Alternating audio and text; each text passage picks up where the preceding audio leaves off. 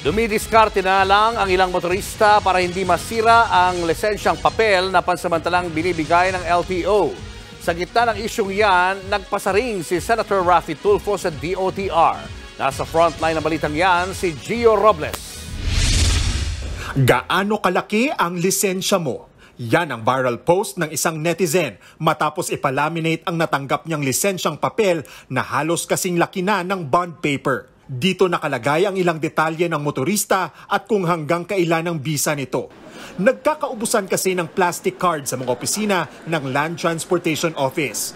Kaya kanya-kanyang diskarte ang mga nagpaparenew ng lisensya para hindi masira at hindi malukot ang lisensyang papel.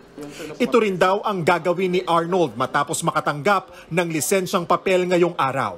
Eh, wala tayong magagawa dahil yun ang ano ng gobyerno na ito lang muna ang pagkakahawakan naming license. Maging si Enrico, wala na rin nagawa ng ibigay sa kanya ang kapirasong papel na ito bilang kanyang driver's license. Baka sa Oktubre pa raw siya mabibigyan ng lisensyang naka-plastic card. Uh, resibo siya, tapos tinataka nila kasi wala pa raw pong kan eh, card. Babalikan na lang namin yung kaya magkakaroon ng ID. Piprint nila yan, pagbalik namin, papakita namin ito. Pero sa pag-ikot ng News 5 kanina, hindi lahat na uwi sa lisensyang papel. Ah, ako po si Jack. Jackpot. Ang motorcycle rider na si Lenin, swerteng nakahabol sa lisensyang naka-plastic card sa satellite office ng LTO sa Mandaluyong. Ah, actually, ngay ngayon daw pong araw, magpapapel na sila. Buti nakahabol pa ako. Sabi ng satellite office, meron pa naman silang natitirang supply ng plastic cards. Pero hanggang ngayong linggo na lang at pili ang uunahing bibigyan. Remaining cards po will be prioritized po para po sa mga OFWs and then will be given po sa mga um, kukuha po ng lisensya na starting from student to non-pro po.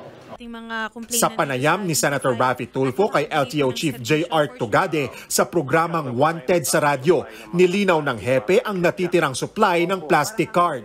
Wala na akong plastic talaga, uh, sagad na at uh, papel na lang po ang issue muna. Hindi pa po, Senator, sa lahat ng opisina, pero more than 50% ng offices po ng LTO, licensing offices, ay uh, ubus na po yung plastic card. DOTR din mismo kasi ang nag-utos sa LTO na lahat ng procurement na lalampas sa 50 million pesos ang halaga ay kailangang dumaan sa Central Office ng Transportation Department. Ang budget na kailangan para sa 5.2 million plastic cards na tatagal ng isang taon nasa 249 million pesos. Bago nag, uh, nag-issue ng special order itong DOTR, wala naman po problema sana sa pagsisecure ng uh, pagkakaroon ng uh, plastic na mga lisensya. Everything went smoothly, am I right?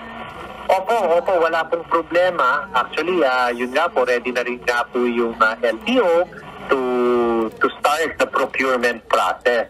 Yun nga lang po, nakatanggap nga po kami ng special order from DOTR directing us to uh, transfer the procurement dun po sa central office. Sa gitna ng issue, hindi maiwasang magpasaring ni Tulfo sa DOTR. Tuwing ang nag-handle yung DOTR, nagkakaproblema. So parang meron natang gustong pumita dyan sa DOTR. Sabi ng LTO, nangako naman daw ang DOTR na pabibilisin ang procurement. Opo, meron po nga official statement po yung uh, Department of Transportation ang nabanggit po nila by July raw po. Kaya po nilang uh, uh, matapos na po yung uh, procurement at meron na raw pong plastic card. Nagbabalita mula sa frontline, Gio Robles, News 5.